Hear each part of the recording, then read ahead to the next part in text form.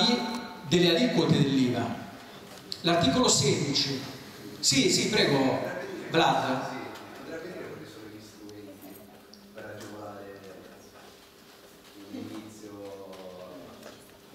Allora, voi dovreste leggere un libro bellissimo che si chiama, eh, ve lo consiglio, anzi fatevelo regalare per Natale perché, eh, fatevelo regalare perché costa un po' e quindi è meglio, è meglio che ve lo regali qualcun altro. Ma i libri sono, sono eh, una risorsa importante. Io, guardate, eh, ho fatto eh, come, come, formazione dopo, dopo ragioneria, ho fatto, ho fatto legislazione d'impresa alla Bocconi.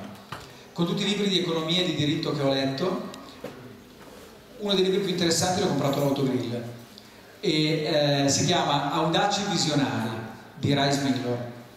Questo libro, eh, di cui non ne conoscevo l'esistenza, ha un sottotitolo che è Se qualcuno mi dice che è una cosa impossibile, se qualcuno ti dice che una cosa è impossibile, falla comunque. Allora, il primo segreto è dentro te stesso. Dovete provarci ragazzi, se non ci provate voi che professionalmente avete poco da perdere, dovete ancora iniziare, che da un punto di vista del mercato non c'è mercato migliore per iniziare a provare a mettere in gioco le proprie abilità che un mercato ingeneroso. Quando il mercato è generoso e florido si, si buttano tutti nel mercato, eh? invece soltanto i migliori resistono a momenti del mercato difficili.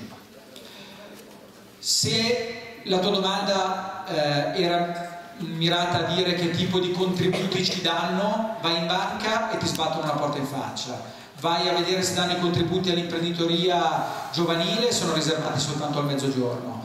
Vai eh, cioè al sud d'Italia, perché sono, sono riservate economicamente depresse. Sono fortunate le ragazze perché qualche volta c'è qualche incentivo all'imprenditoria femminile. È anche vero che qualche volta c'è qualche incentivo anche all'imprenditoria giovanile eh, però noi siamo purtroppo e per fortuna in un territorio considerato economicamente fertile nonostante la crisi e quindi quando vengono stanziati questi contributi sono sempre troppo pochi o troppo selettivi. La vostra professoressa dice una cosa che io condivido appieno. Non tutte le attività economiche richiedono un investimento iniziale necessariamente alto e la vostra attività quella di tipo consulenziale, oppure guardate, all'inizio sarete in grado,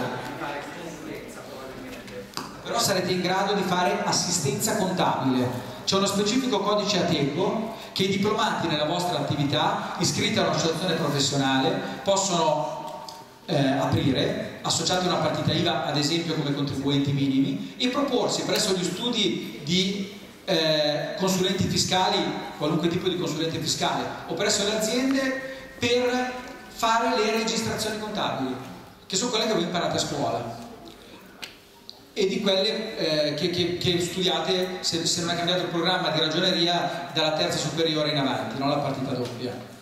Allora, eh, voi questo già lo potete mettere in pratica, rischiando poco. Anzi, vi dirò di più, come diceva Oscar prima, magari potrebbe essere l'opportunità per entrare in un contenitore, l'azienda, in un contenitore, lo studio, e poi essere ritenuti validi e vi viene proposto di essere assunti. Però intanto lo fate provando con un'esperienza di libera professione. Deve arrivare da voi, deve arrivare un po' della passione anche per la materia che, che fate, eh, la passione per il fatto che operate in un settore di cui domanda ce n'è sempre e per il fatto che fare questo magari in parallelo agli studi vi consente, con tutto il rispetto per il lavoro, perché qualunque forma di lavoro è nobile, ma di non fare magari, di non arrotondare magari durante gli studi superiori andando a fare il cameriere o la cameriera al bar, come avviene, no? Molti studenti lo fanno al Pony Express, ma cominciare a mettere in pratica le vostre competenze e cominciare a guadagnare, magari non tanto, ma già da subito. E quindi voi avete un doppio beneficio, guadagnate e imparate on the job.